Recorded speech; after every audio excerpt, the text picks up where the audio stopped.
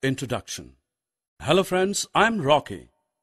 Let me tell you something about myself. I wake up early in the morning. The rising sun and melodious chirping of birds make me feel happy. These things start my day. Now let me tell you something about my daily routine work. Objectives At the end of this lesson, you'll be able to know all about the child's activities throughout the day, tell time in hour, perform the steps in a sequential way for any given activity, know duration of time to complete a particular activity. My day begins with the rising sun. I wake up early in the morning and greet my parents. Then I start my routine work.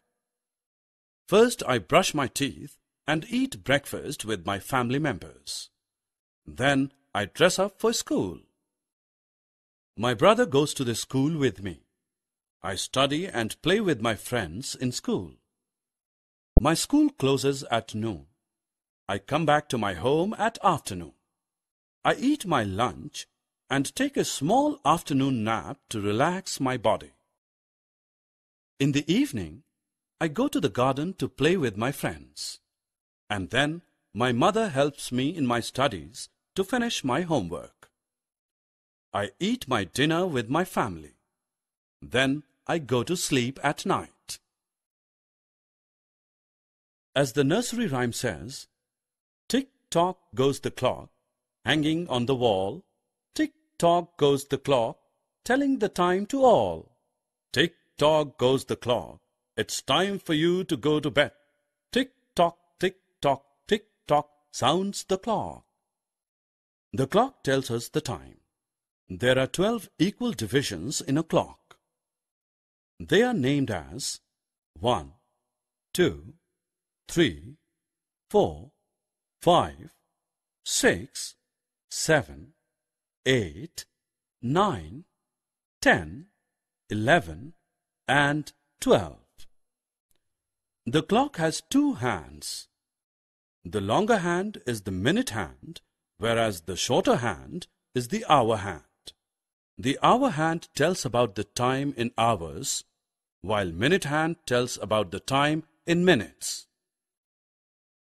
Click on the number on clock face to read the time. Can you tell me how much time we take to blink our eyes? Yes, it takes only a few seconds. Similarly, when we touch a hot object, we take our hand back in few seconds.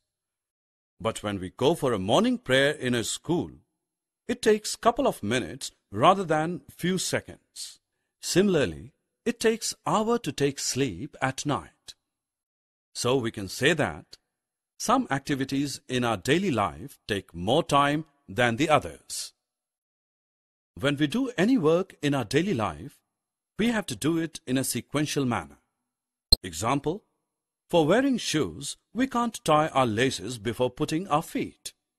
First, we have to wear socks so that we can wear our shoes properly. Then we put our feet in shoes, and then we tie the shoe laces.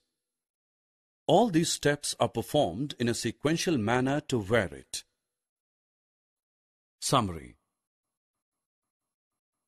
Let us summarize what we have learned. The various activities in a child's day. A clock helps us to read time. Events happen in particular sequence. Every event takes time. Some events take longer time than the other.